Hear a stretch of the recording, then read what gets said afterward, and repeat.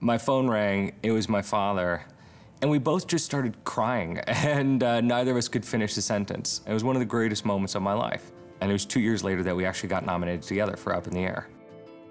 Directing Arrival, Denis Villeneuve, Hacksaw Ridge, Mel Gibson, La La Land, Damien Chazelle, Manchester by the Sea, Kenneth Lonergan, and Moonlight, Barry Jenkins.